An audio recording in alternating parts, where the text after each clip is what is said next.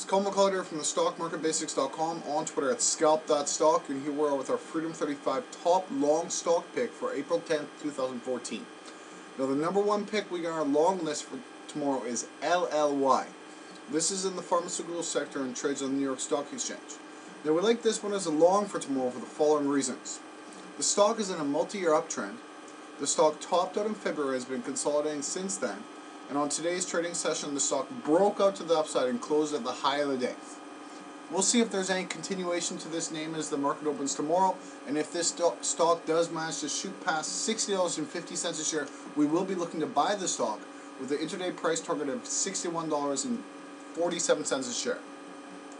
Here's daily chart of LLY.